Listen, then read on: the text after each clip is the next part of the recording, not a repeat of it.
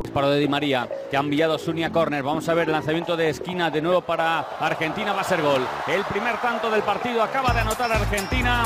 El primer gol lo ha marcado Facio en el saque de esquina. Vemos a Correa con Facio. Pero en el córner ha llegado el primer gol para la selección albiceleste.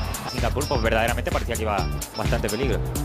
Este saque de esquina sí que puede llevar peligro. Vamos a ver Dybala, el balón para Correa, gol. Segundo tanto de Argentina. Qué buen balón ha metido Dybala ahí, buscando el remate de Correa, que estaba prácticamente pegado a la línea de gol, pero había más jugadores de Argentina esperando esa pelota. El envío con el interior de Dybala fuerte para que solo tuviera que tocar Correa. Debutaron en el partido contra Brasil y el debut de Paredes y del Papu en el día de hoy, unos cuantos, ¿eh? están debutando con, con San Paolo en la selección de Argentina. Debutaron ¡Gol, gol!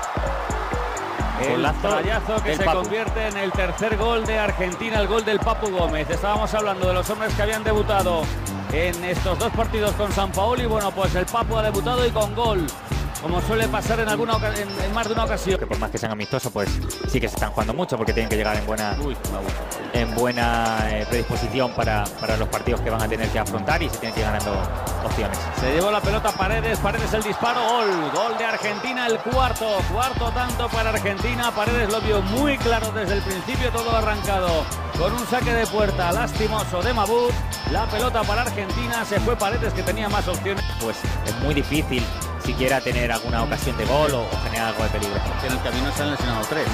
Gustafic Di María puede ser el quinto tanto. Alario, golazo. Gol de Alario, quinto para Argentina. El balón que le dejó Di María en tres pases. Se ha plantado Argentina. Despejó Mustafic, pero hacia atrás. La pelota para Di María y después Alario que acaba de conseguir el quinto gol de Argentina. 0-5. Tiene que llegar Dybala ahí para combinar con Mamana. Mamana y Facio que se habían incorporado al remate. Oportunidad ahora para Nacho Fernández. Es eh, gol de Di María fuera de juego, no es fuera de juego. El gol, ha dado El gol es gol. dado Gol, gol, gol de Di María, el sexto. Gol de Di María, el sexto tanto. Sexto gol de Di María. Estaba mirando el árbitro al, al asistente, pero es gol. El gol de Di María, ya ha tocado Nacho Fernández. Y consigue Argentina el sexto gol. Ya no sé cómo.